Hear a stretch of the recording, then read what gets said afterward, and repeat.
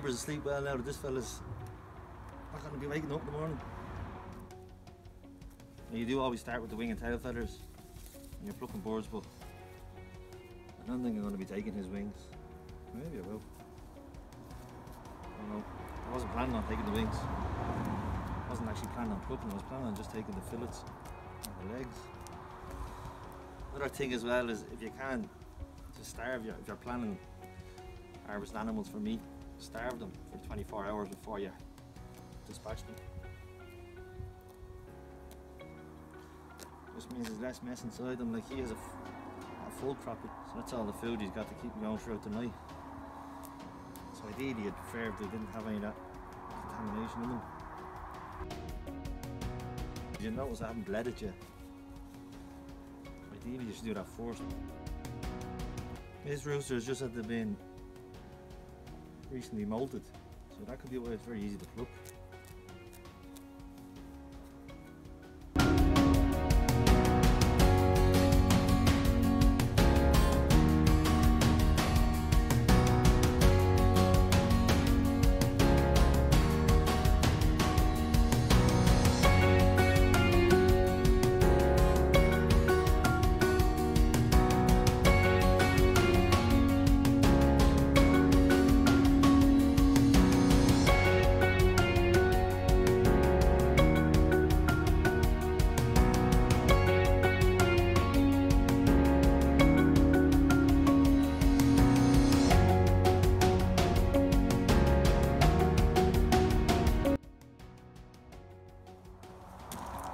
Once you have a clean dry table, then you start the evisceration. So you go off with the head.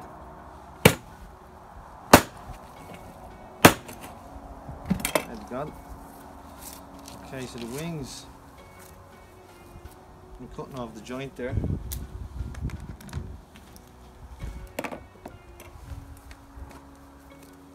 You just cut around the joint.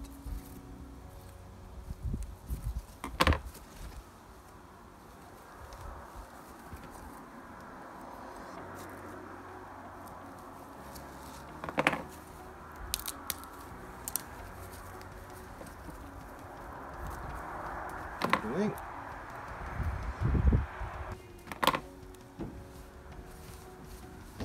Off with the feet, or legs should I say.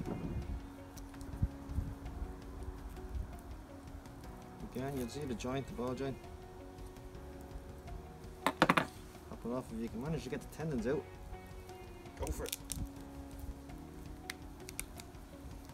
Just watch that spur, it's very, very sharp. That's what the roosters use to fight with each other. See if you can manage to twist the tendons out.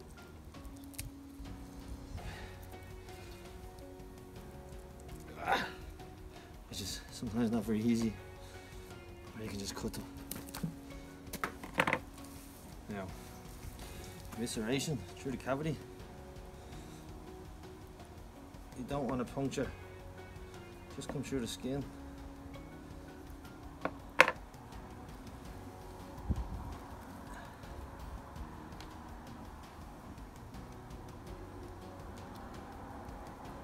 Wonder if the skin didn't tear when I was plucking it. It's very thick.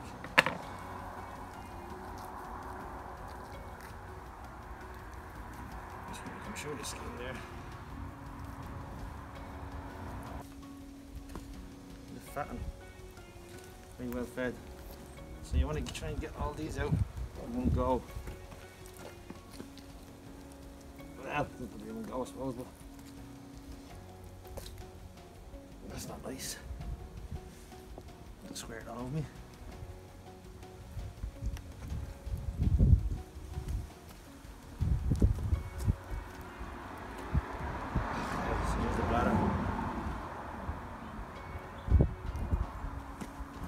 This is where I like to cut. Here.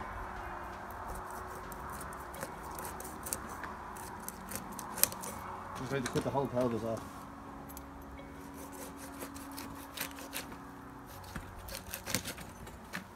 And then all the junk falls into the bin. Now you will have sharp bones there, so be careful. So you need to get the crop out now in the windpipe.